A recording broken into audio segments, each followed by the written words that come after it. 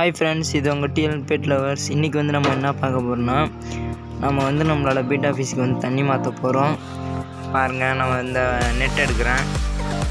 பாருங்கள் நம்ம full moon black beat office female இருக்குது அதுக்கு ரொம்ப அழுக்காயிடுச்சு ஒரு எயிட் டேஸ் நைன் டேஸ் ஆகிருக்கும் ரொம்ப ஆல்கைலாம் ஃபார்ம் ஆகிடுச்சு அதனால் அது போடுற வேஸ்ட்லாம் கீழே தங்கிடுச்சு. இப்போ நம்ம தண்ணி மாற்றுறதுக்கு இதுமாரி ஒரு டப்பு எடுத்துக்கலாம். டப்பு மக்கு எடுத்துங்க. எடுத்து அதை நல்லா வாஷ் பண்ணிங்க. நான் வாஷ் பண்ணுறதை காட்ட மாட்டேன். ஏன்னா எனக்கு பின்னாடி தான் இருக்குது டேப்பு அதனால் தெரியாது உங்களுக்கு. இருங்க டக்குன்னு எடுத்து உங்களுக்கு காட்டுறேன்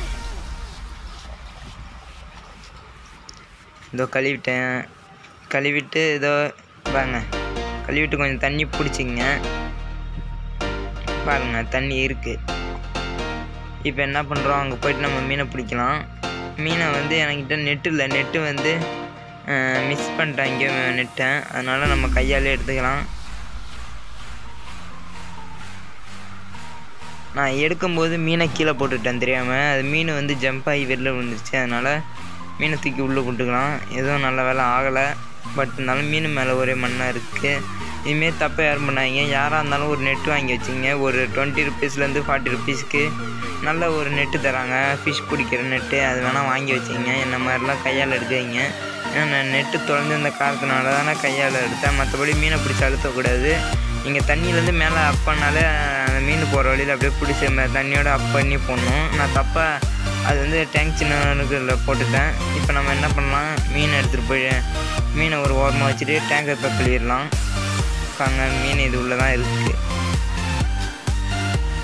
வச்சுட்டு இப்போ நம்ம டேங்க் ஒரு ஓரமாக தூக்கிட்டு போயிடலாம். அப்படியே நான் ரெண்டு டேங்க் வச்சுருக்கேன். ஒரு டேங்க்கில் வந்து மேலில் இருக்குது பக்கத்தில்.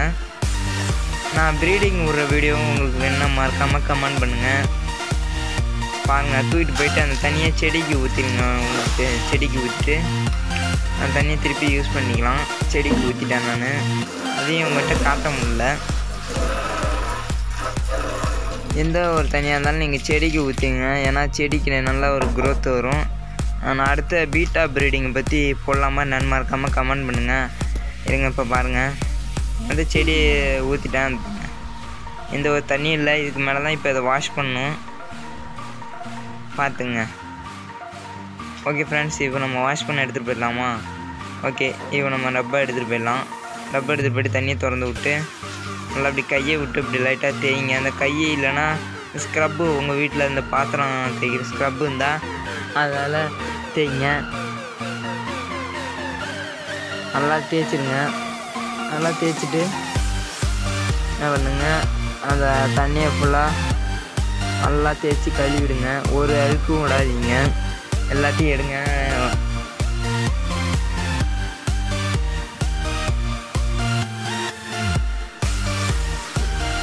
ஓகேங்களா எல்லாத்தையும் இப்போ கழுவியாச்சு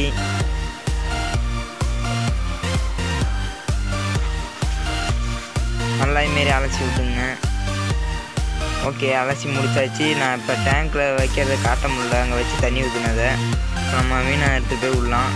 இதை காட்ட முடில ஓகே ஃப்ரெண்ட்ஸ் இந்த வீடியோ அவ்வளோதான் மறக்காமல் சப்ஸ்கிரைப் பண்ணுங்கள் சேனலில் மறக்காமல் லைக் பண்ணுங்கள் ஷேர் பண்ணுங்கள் சப்ஸ்கிரைப் பண்ணுங்கள்